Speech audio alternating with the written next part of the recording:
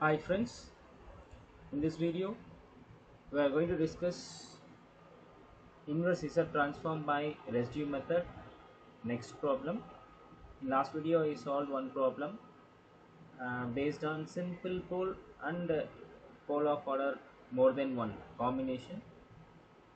Now I will solve the pole of order more than one. So let me see the question. Find Z inverse of Z into Z plus 1 by Z minus 1 whole cube by residue method.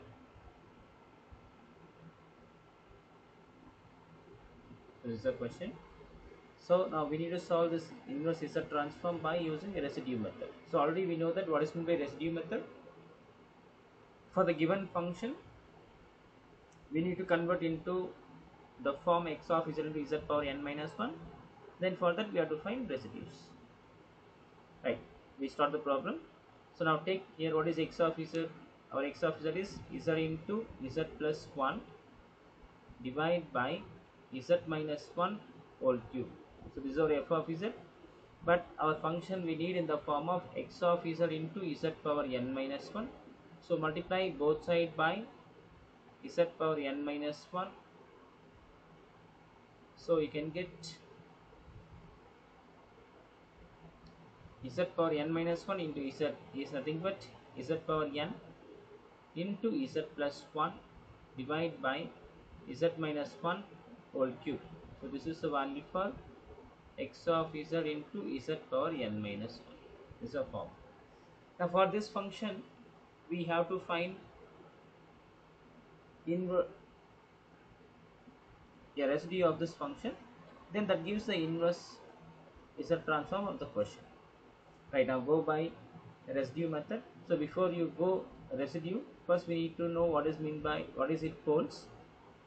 So what are the poles here? To get poles to get poles equate denominator equal to 0 so this implies we have a simple idea z minus 1 whole cube equal to 0 so a simple function. So z minus 1 whole cube equal to 0 is nothing but z equal to 1 occurs 3 times. Therefore z equal to 1 is a pole of order 3 so at the point 1 the function goes infinity. Therefore this function this point is said to be a pole of the function. So it repeats three times therefore order is 3 right now we can find what is the residue of this function. So here we are having only one pole so it's very simple problem. So now first just find the residue of f of z at z equal to a for pole of order m. The formula is 1 by m minus 1 factorial limit z tends to a d power m minus 1 divided by dz power m minus 1 into z minus a whole power m into f of z. So this is a general formula. Now here our function is x of z into z power n minus 1. So we have to find residue of x of z into z power n minus 1 at our pole. Now for this problem our pole is 1.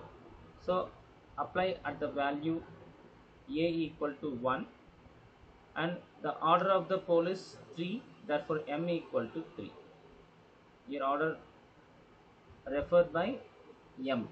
Therefore here 1 by m minus 1 factorial is 3 minus 1 factorial is 2 factorial.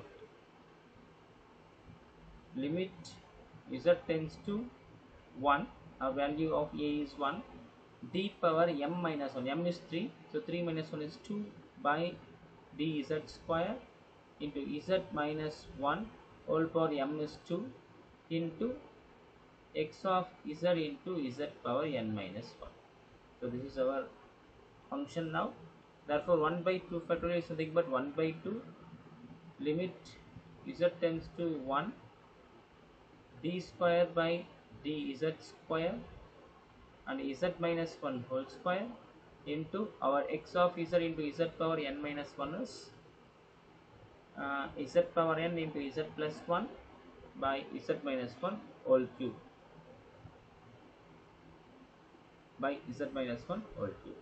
So this is a uh, given function and see here our order is 3.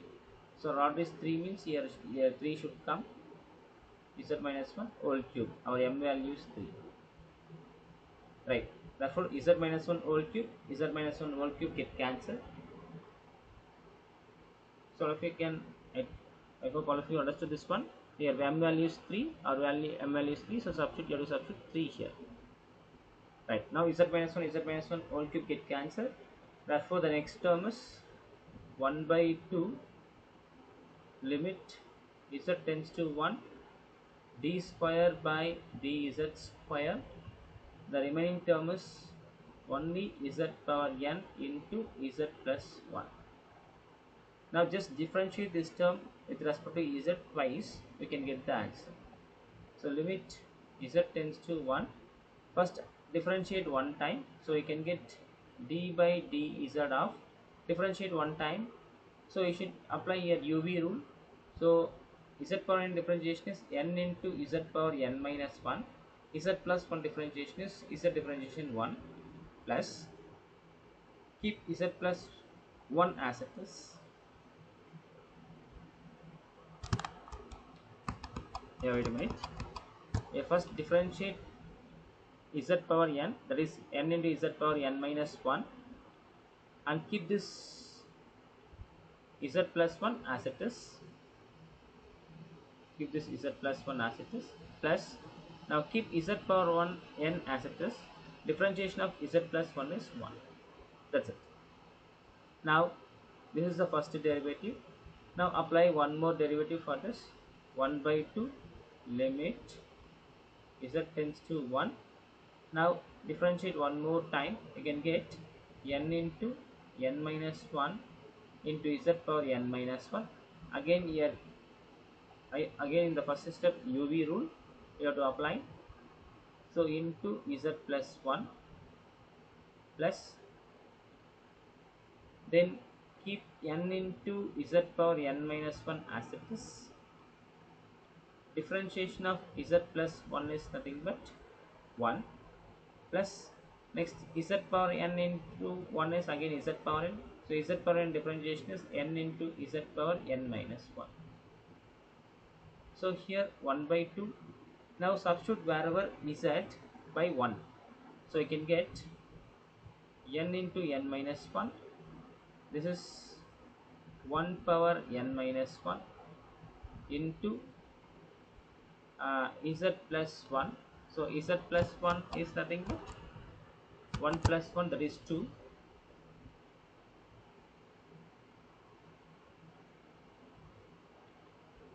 1 plus 1 that is 2 plus again n into 1 power n minus 1 into 1 is again same value. Plus n into 1 power n minus 1 so here 1 by 2 uh, take the 2 front side 2 uh, n into n minus 1 can be written as take that n inside n square minus n. And 1 power n minus 1 is 1 only again. So next term is also n plus n.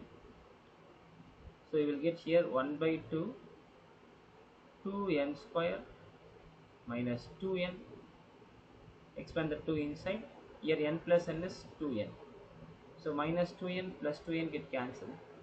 So the remaining term is 1 by 2 into 2 into n square. Here 2 2 get cancelled therefore the value is n square. Therefore this is nothing but our residue.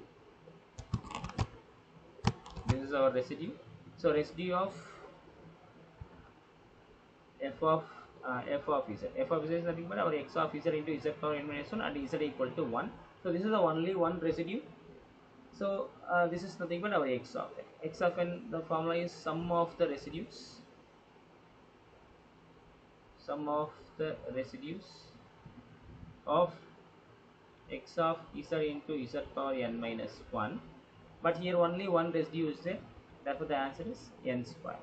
So x of n is n square so x of n is nothing but z inverse of x of z. So our x of z is given as z inverse of z into z plus 1 divided by z minus 1 whole cube. This is equal to n square. So this is the answer for the given problem. So i hope you understood. So we will uh, discuss more problems in next video. Thank you